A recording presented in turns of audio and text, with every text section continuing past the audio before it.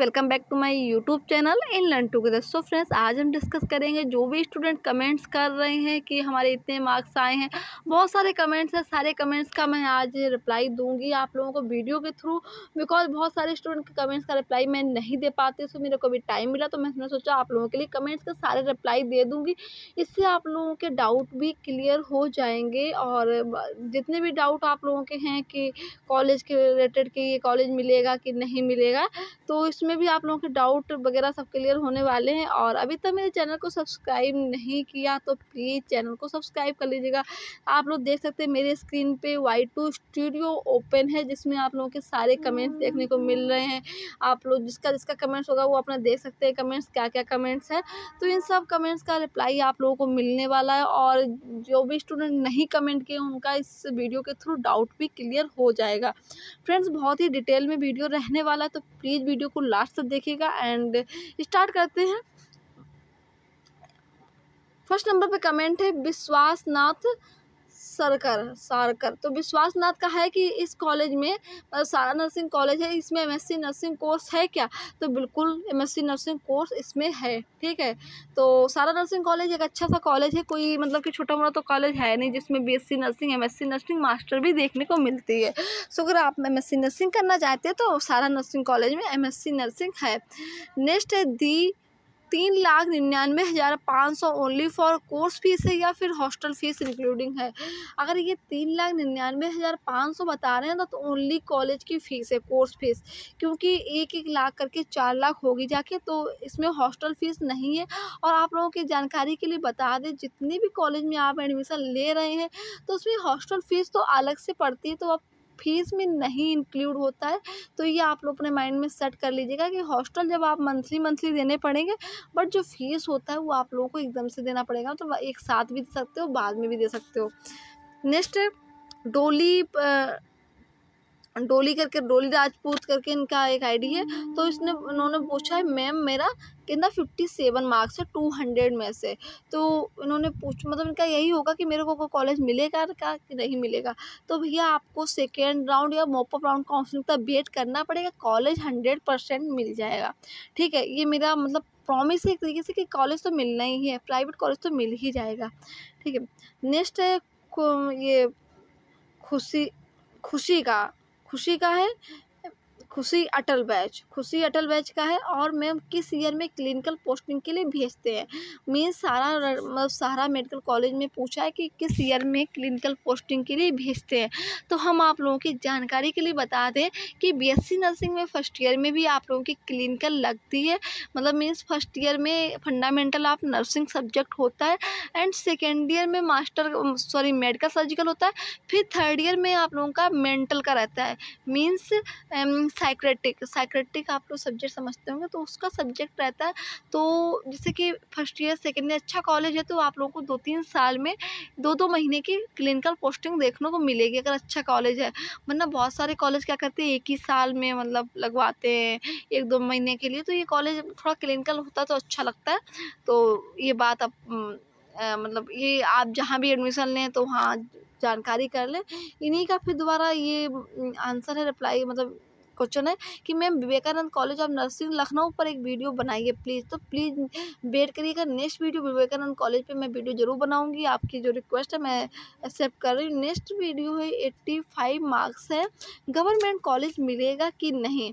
User you करके एक आई है तो उन्होंने पूछा है कि एट्टी फाइव मार्क्स मेरे हैं तो मुझे गवर्नमेंट कॉलेज मिलेगा क्या? तो भैया फ़र्स्ट राउंड काउंसलिंग में मिलने के चांस बहुत ही कम है बिकॉज़ आप लोगों को पता है कि गवर्नमेंट कॉलेज में सीटें बहुत ही कम है। है, बहुत ही कम है। मतलब दो हज़ार, ढाई हज़ार के अप्रॉक्स जिनकी रैंक आ रही है, उनको government college, first round counselling में मिलेगा। और आपकी तो आई थिंक जो रैंक है, बहुत ही हाई गई होगी। तो मुश्किल है फ़र्स्ट राउंड काउंसलिंग में। और फ्रेंड्स मतलब मैं आप लोगों को फिर एक रिक्वेस्ट कर रही हूँ कि अभी तक मेरे चैनल को सब्सक्राइब नहीं किया तो प्लीज़ चैनल को सब्सक्राइब कर लीजिएगा। एंड वीडियो को आप ज़रूर ज़रूर से मतलब अपने फ्रेंडों के साथ शेयर ज़रूर कीजिएगा, क्योंकि आई थिंक बहुत ही इंफॉर्मेटिव वीडियो आप लोगों के लिए बन रही है क्योंकि सारे लोगों का डाउट क्लियर हो रहे हैं। जितने भी रिप्लाई मेरे पास आते हैं, मैं उसका आप लोगों का रिप्लाई ज़रूर देने की कोशिश करती हूँ। नेक्स्ट सेवेंटी मार्क्स है। सारा कॉलेज मिल सकता है क्या? तो आप लोग देखिए बहुत सारे स्टूडेंट पूछते हैं कि मेरे डायरेक्ट एडमिशन मेरे को मिल जाएगा कॉलेज में? मीन्स उनका ये है कि जैसे किसी के फिफ्टी सेवन है तो किसी के सिक्सटी है किसी के सिक्सटी फाइव है। तो इन स्टूडेंट का है कि डायरेक्ट एडमिशन मिल सकता है कि, कि नहीं मिलेगा? तो देखिए आप लोगों को मैं बताऊँ क्या होता है कि अगर आप लोगों को अपने सिलेक्टेड कॉलेज पता है, कि आपको पता है मेरे सिक्सटी मार्क्स आए एक एग्ज़ाम्पल ही ले लीजिएगा, जैसे कि लखनऊ में फातिमा कॉलेज ऑफ़ नर्सिंग है, सहारा कॉलेज है, ठीक है, ये कानपुर में बहुत सारे कॉलेज हैं, जहाँ भी जिस एरिया से आप लोग बिलोंग करते हैं, मैं उसकी बात कर रही हूँ, एक एग्जांपल के तौर पे फातिमा कॉलेज ऑफ़ नर्सिंग को लेते हैं। आपको लग रहा है कि मेरे को फातिमा कॉलेज ऑफ़ नर्सिंग में मेरे को एडमिशन लेना है, ठीक है, फातिमा कॉलेज ऑफ़ नर्सिंग में एडमिशन लेना मार्क्स आप लोगों के कम आए हैं। तो आप लोग एक बार कॉलेज, काउंसलिंग करा रहे हो तो ठीक है। एक बार कॉलेज में जाके बात करिएगा कि मेरे को एडमिशन लेना है आपको कॉलेज में। तो क्या होता है, कॉलेज वाले खुद ही आपका नेम सेलेक्ट करके आप लोगों को एडमिशन दिला देते हैं। ये सब कॉलेज तो ऐसे करके आप लोग डायरेक्ट एडमिशन ले सकते हैं। बहुत सारे कॉलेज हैं जो डायरेक्ट एडमिशन लेते हैं, खुद ही काउंसलिंग कर लेते हैं और खुद ही मतलब एडमिशन ले लेते हैं। बस आप लोगों को फ़ीस पे करनी होती है उनके पास। आई थिंक आई होप आप लोगों को समझ में आया होगा। ठीक है? नेक्स्ट है। फिफ्टी सिक्स पर ओबीसी का प्राइवेट कॉलेज मिलेगा क्या? तो यही बात मैंने अभी बताने की कोशिश की है क्या? कि आपको थोड़ा वेट करना पड़ेगा मोपा ब्राउन काउंसिलिंग तक करिएगा वेट और प्राइवेट कॉलेज तो मिल जाएगा। अगर आप लोग चाहते हैं तो किसी कॉलेज में जाकर संपर्क कर सकते हैं।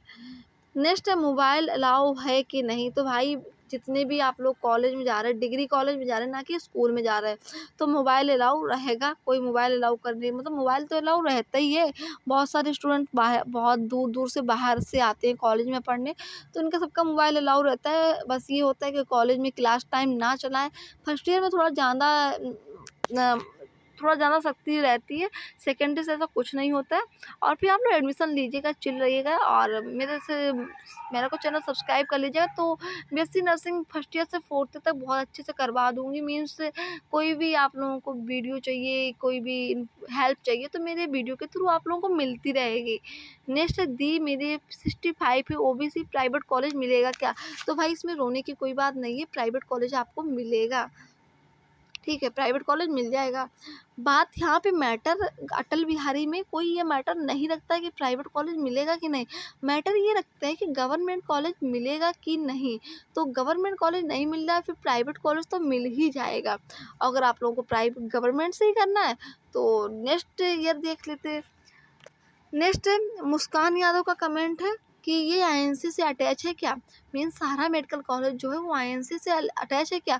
तो आप लोग मतलब ये बहुत ही कॉमन क्वेश्चन है कि आईएनसी से एफलेटेड है कॉलेज ही नहीं।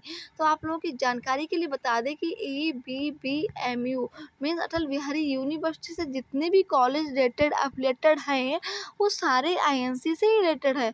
आईएनसी से ही अटैच है। कोई विदाउट आईएनसी अटल बिहारी क्यों कॉलेज का मतलब अपने कांटेक्ट में रखेगी? तो जितने आप लोगों को कॉलेज देखने को मिलेंगे, सारे आईएनसी से ही कनेक्ट हैं। नेक्स्ट है, नीलम गौतम का है, दी हॉस्टल नहीं लूँ, तब भी इतना ही लगे क्या? लगेगा क्या?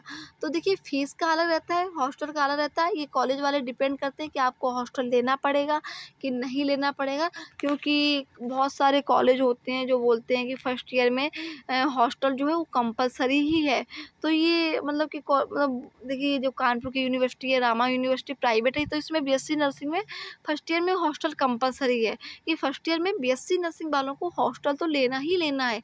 तो यहाँ पे जो नीलम गौतम ने पूछा दी हॉस्टल नहीं नहीं लूँ तब भी इतना लगेगा।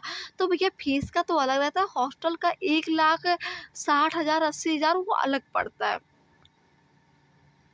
नेक्स्ट है, तनीस तनीष राजपूत का कमेंट है। मैम, पचहत्तर नंबर है। जनरल से प्राइवेट कॉलेज मिलेगा क्या? तो मैंने ये बहुत बार इसका रिप्लाई दे दिया है कि सेवेंटी फाइव मार्क्स वालों को चांस मिलेगा सेकेंड राउंड काउंसलिंग में। सबको प्राइवेट काउंसलिंग में मतलब प्राइवेट कॉलेज में एडमिशन मिलेगा। बस अपने चॉइस फिलिंग के चॉइस फिलिंग के जो भी आप लोगों के कॉलेज हैं, वो आप चॉइस कर दीजिएगा। एंड कॉलेज आप लोग को मिलेगा। दीदी, आपका गवर्नमेंट कॉलेज है या प्राइवेट कॉलेज है? तो ये मैं अपना मतलब ये क्वेश्चन का रिप्लाई भी नहीं दे सकती हूँ। मैं बताऊँगी कि मुझे मेरा सॉरी मतलब ये इसका मैं रिप्लाई एक बार बता भी चुकी हूँ कि दीदी, रुक जाइए, मैं इसका देखिए कमेंट सेक्शन खुल रहा है। एक मिनट रुकना। तो मैंने इसका रिप्लाई एक बार दे दिया था कि मतलब कि मेरा जो है वो प्राइवेट कॉलेज है, ना मैं गवर्नमेंट कॉलेज से नहीं कर रही हूँ। तो इसलिए मेरे को प्राइवेट कॉलेज के बारे में ज़्यादा जानकारी है कि मेरे को पता है प्राइवेट कॉलेज में कहाँ है, कितने पैसे लेने होते कितने कहाँ कहाँ लेते हैं और मेरा जो है वो भी अटल बिहारी से ही रिलेटेड है कॉलेज कोई ऐसा नहीं कि मेरा जो पहले का है तो आपका रिप्लाई मिल गया होगा। वन ट्वेंटी सेवन है गवर्नमेंट कॉलेज मिलेगा क्या नहीं? तो सेकेंड राउंड काउंसलिंग में चांस मतलब मिल सकता है। ऐसा नहीं कि नहीं मिलेगा तो सेकेंड राउंड काउंसलिंग तो ट्राई करते रहेगा। तो आई होप आप लोगों के बहुत सारे डाउट क्लियर हो गए होंगे। तो इतने मैंने रिप्लाई देने की आपकी कोशिश की और इतने रिप्लाई में सबके ही रिप्लाई का मतलब सबके ही क्वेश्चन का आंसर मिल गया होगा। सो so फ्रेंड्स मिलते हैं नेक्स्ट वीडियो साथ नेक्स्ट टॉपिक के साथ। वीडियो को बहुत ज़्यादा से ज़्यादा शेयर कीजिएगा एंड लाइक ज़रूर कीजिएगा। चैनल को अभी तक सब्सक्राइब नहीं किया तो प्लीज़ चैनल को सब्सक्राइब करिएगा। मिलते हैं नेक्स्ट वीडियो के साथ, नेक्स्ट टॉपिक के साथ। Bye bye